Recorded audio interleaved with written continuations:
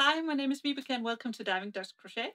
Today I'm going to show you yet another scarf tutorial and if you want to see all my other scarves then go ahead and check out the playlist on my channel page. So today I want to show you how to crochet this lovely cowl in these beautiful yarnicorn colors. I will show you from the beginning to the end exactly how to do this so you can do this cowl only by following this tutorial. If you prefer to follow a written pattern though, I will leave a link for the written pattern below in the description. But let me show you how to crochet this right now.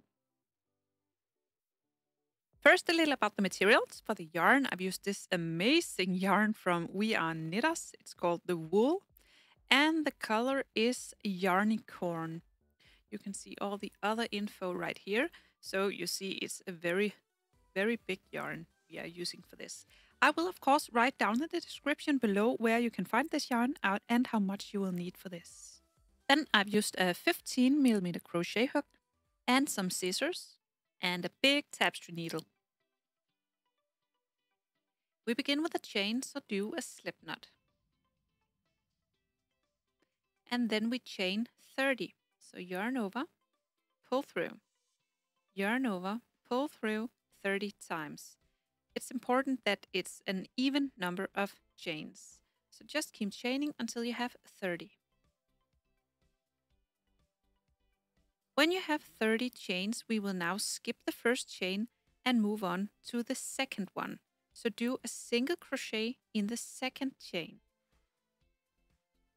Insert the hook in the second chain and single crochet. Find your next chain and single crochet.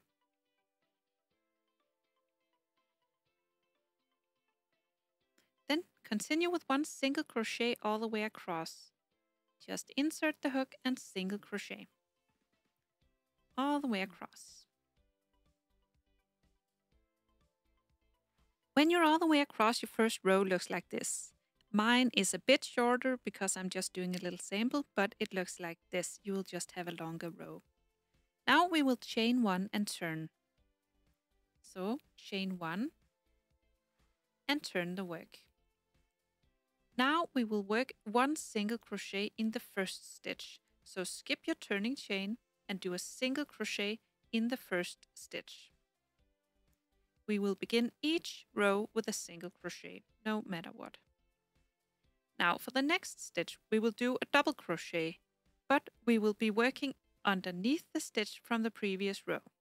So usually we do a double crochet up here, but now we will work a double crochet underneath the stitch from the previous row. So we will go down all the way down here and grab the stitch. So you yarn over to uh, begin your double crochet and then you insert the hook underneath the stitch. Then grab the yarn, pull up a loop, and then pull up a loop a bit. Then yarn over, pull through two, yarn over, pull through two to finish your double crochet. Then you do a regular single crochet in the next stitch. So just insert the hook and single crochet. Then a double crochet underneath the stitch from the previous row, so all the way down here. So just yarn over, go down and grab the stitch underneath the stitch and pull up a loop just a bit, then yarn over and pull through two, yarn over, pull through two. Then a single crochet in the next. And then again a double crochet underneath the stitch from the previous row. So all the way down here, you yarn over, insert the hook, and pull up just a bit, yarn over, pull through, yarn over, pull through, two.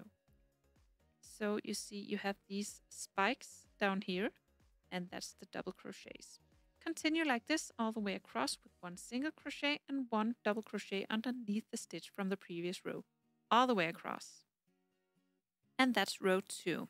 And you finish on a single crochet. You finish each row on a single crochet no matter what. Now you chain one and turn. Then you skip your turning chain and do a single crochet in the next. And then you just continue with one single crochet in each stitch all the way across. And this is row 3. Now we begin row 4. First chain 1 and turn. Remember chain 1 and turn each time. Now we will just re be repeating row number 2. So skip your turning chain, move on to the second one where you will single crochet. Always start with a single crochet, no matter what. Then the next stitch, do a double crochet underneath the stitch from the previous row. So all the way down here, so just yarn over, all the way down here and grab the stitch. And then you pull up, yarn over, pull through, two, yarn over, pull through, two. Then a regular single crochet in the next. It is so fun crocheting with this very chunky yarn and then a double crochet underneath the stitch from the previous row. So all the way down here, just yarn over, go down, grab the stitch, remember pull up a loop and finish the double crochet. Okay, so now we have the pattern. You will do one row of these where you do the double crochet, then a row of only single crochet. You will just be repeating these two rows again and again I did 13 rows in total, uh, and I could have done 14, so I will complete the pattern, but I didn't have enough for the 14th row, and I like uh, the idea of it's a one skein project, so I will keep it as it is. So now I will take a good amount of yarn, and then I will cut it. And then we have this left. I will pull this loop through so we secure the yarn. And I will now sew it together. So I fold it and then I will sew it together on the back side. Find my huge tapestry needle and thread it. Yep.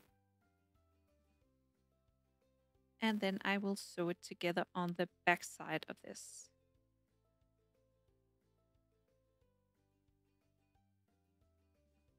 Just make a simple seam all the way down.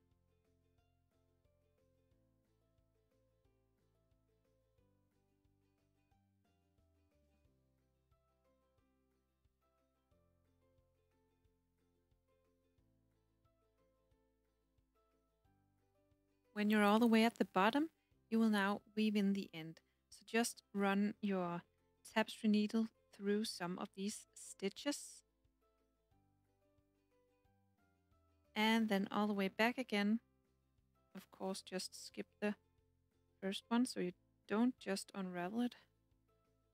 Back through the same tunnel and again through the same tunnel and that's it.